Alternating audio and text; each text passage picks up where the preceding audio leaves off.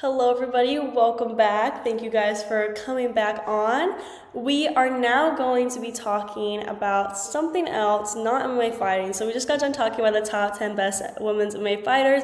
Now, switching over to gymnastics, where we're going to be talking about the 2024 Core Hydration Classics.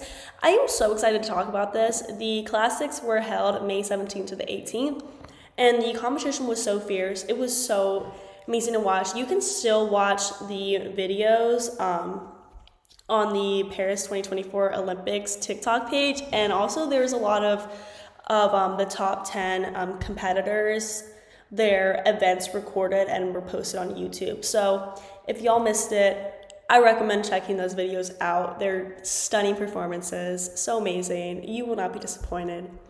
So we're gonna start ahead, start and talk about the classics. Simone Biles dominated the competition without a shock, and she made headlines, and her videos of her events have been going viral all over TikTok. So, Biles, of course, won first in the all around with a total score of 59.5. She was absolutely amazing.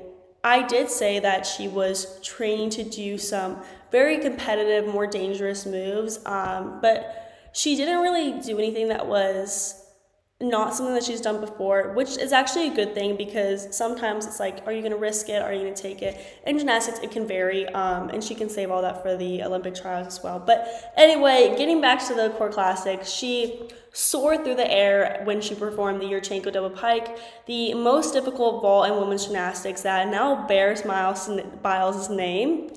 Unlike last year, Biles did did um, good without her coach standing on the mat for safety and but it ended up leading her into a half point deduction. So she didn't she didn't do like it was it was good last year but it it wasn't her best let me just say that okay? But she ended up getting a half point deduction on that and the mat.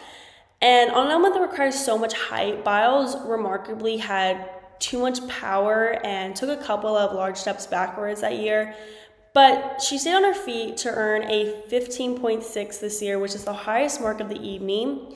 She secured routines on beam at 14.55 points for second place and floor 14.8 for first place. And then on the beam, what stood out to me the most was her perfect wolf turns. I literally cannot explain how perfect they were in words. Wolf turns on beam require so much amazing balance, and she was absolutely flawless.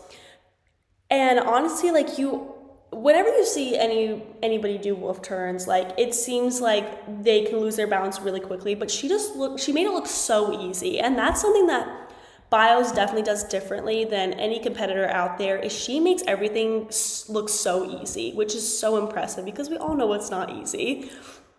And then she finished the meet on bars, which is her weakest event as we know. But she made it smoothly without any errors and finished with a score of 14.55 last year, Biles proved she was still the best gymnast in the world despite what happened in Tokyo when her gold medal hopes unraveled because of a disorienting mental block. After she withdrew from multiple finals, her competitive future seemed uncertain, really. Biles eventually eased back into training and then to competition last summer. As she prepares for her third Olympics, Biles didn't simply replicate her routines from her successful 2023 season, though. She added more difficult skills. She performed the triple twisting double tuck on floor, another skill named for Biles, but one she didn't include in her last year routine. She also unveiled a new dismount combination of bars. She did have some points deducted on her floor routine for stepping out of bounds a couple of times, though. But still, I'm excited to see these other uh, quote dangerous moves that she has planned for Olympic trials and the Olympics. Second place did come at a bit of a shock for me. Not okay, not really a shock. I have to explain that.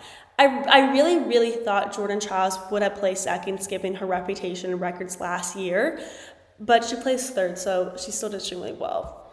Shilese Jones placed second, and I mean, this isn't surprising at all. Like we all know, she's an amazing gymnast. She's like so famous for all of her skills. Um, but still, I just, I don't know why, but I just really thought that Chiles was going to play second. Anyway, she finished with a score of 57.65 in the all around, about two full points behind Biles.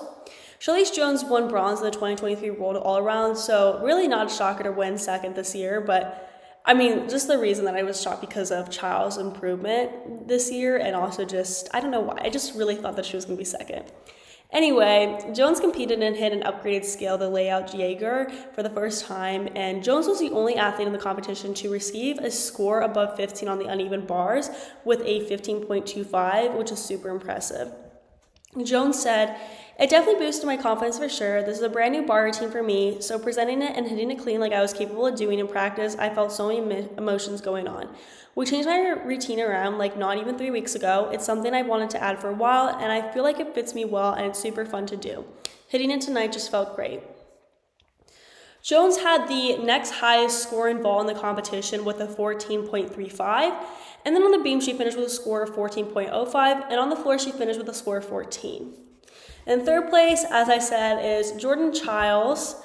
She is the Tokyo Olympic team silver medalist. She finished with a score of 55.45 in the other round. Her floor team was what really stood out to me it was very graceful, strong, and speedy all at the same time. She finished with a score of 13.35, which was her lowest score, and that shocked me a bit. I loved her routine. She did have some deductions going out of bounds, and she stumbled on some of her landings, but still, I felt like she had a beautiful performance regardless.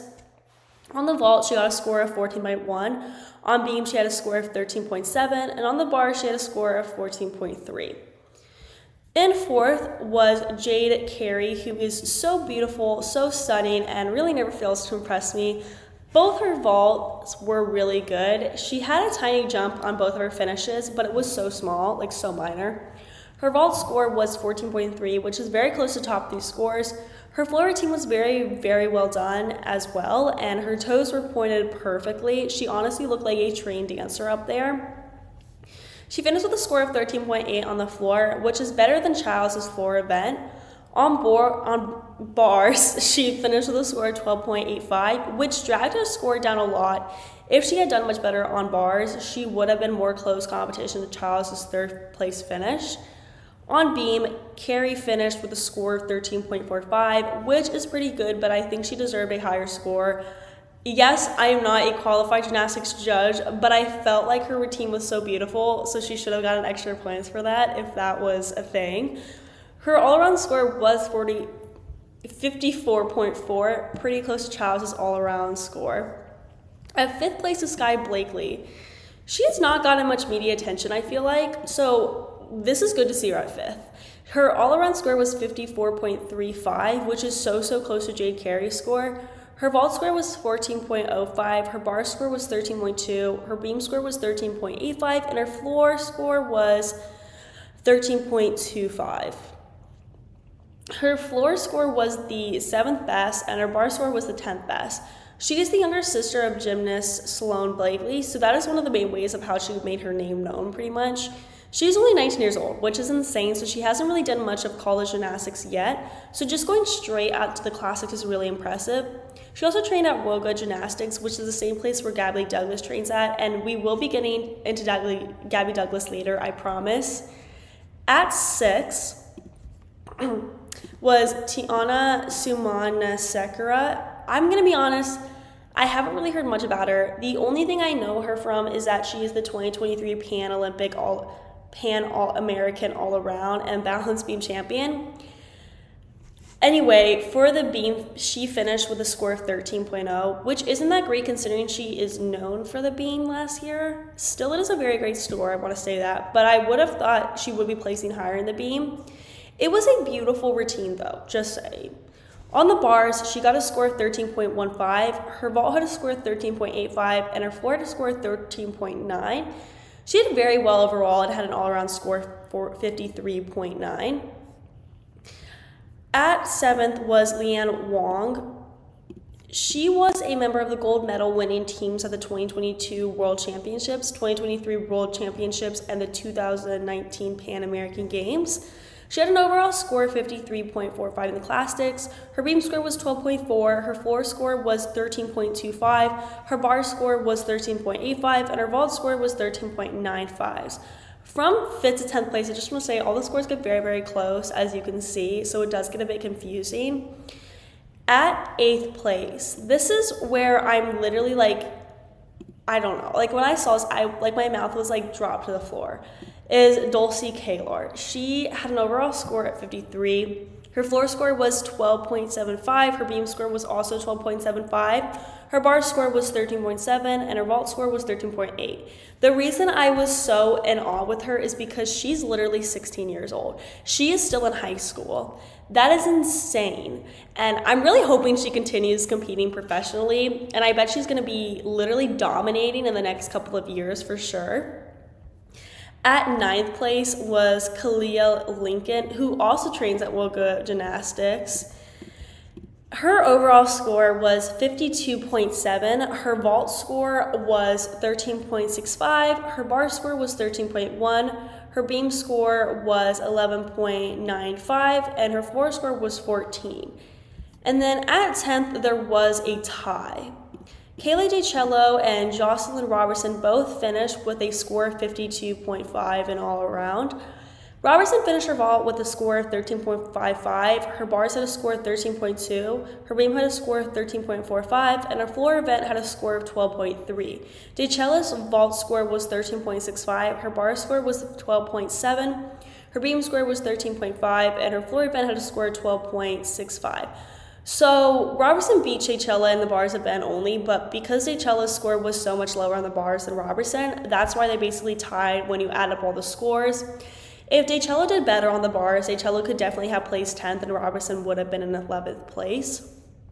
Now, to finish up this segment, let's talk about Sunisa Lee and Gabby Douglas. Lee did not compete in the all around. She opted out of uneven bars, her best event, and had clean performances on the other three apparatuses headlined by the 14.5 that earned her first place on the beam. Her combined score of 40.65 hit the three event standard to qualify for the all around at the US Championships from May 30th to June 2nd. Gabby Douglas, on the other hand, returned to Elite Gymnastics 2024 for the first time since the 2016 Olympic Games, but she had a rocky start to the meet with two falls in her first rotation on the uneven bars. She ended up withdrawing from the competition after the first rotation and did not complete the rest of the events in the all around. Douglas also had a pair of falls on bars in the American Classic in April, the 28 year old is already qualified for the US Gymnastics Championships in every event except floor exercise, so she can still compete in those individually. However, because Douglas finished an all around at the American Classic without meeting the qualifying standard, she will not be able to compete in all four events of the National Championship, unfortunately. It is a bit sad that she won't be competing in all events, but at least we will get to see her more. So we're now going to move on to our next segment where we're going to talk about the USA VNL team. Before that, we are going to be taking a very short break, so I will see you guys really soon.